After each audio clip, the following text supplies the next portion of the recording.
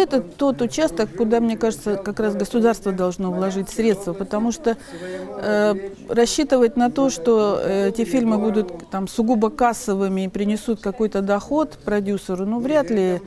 Тут важно, чтобы эти фильмы были честными, правдивыми, и в последнее время фильмы о войне мне лично не нравятся, мне кажется, они очень лубочными такими, приукрашенными.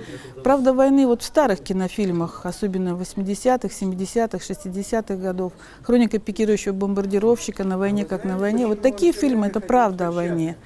Мне кажется, важно, чтобы мы снимали и для молодежи, и о подвигах вот таких, о которых я в этой книжке рассказываю. Об этих девчонках, конечно, надо снять фильм художественный. Спасибо.